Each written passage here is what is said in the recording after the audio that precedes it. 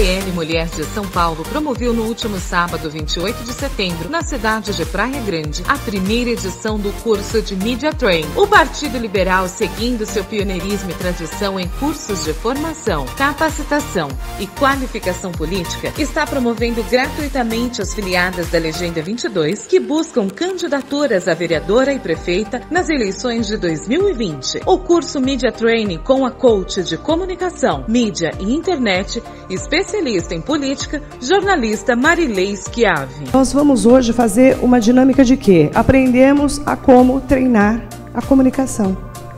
Quem somos nós? Quem são essas mulheres que são pré-candidatas aqui?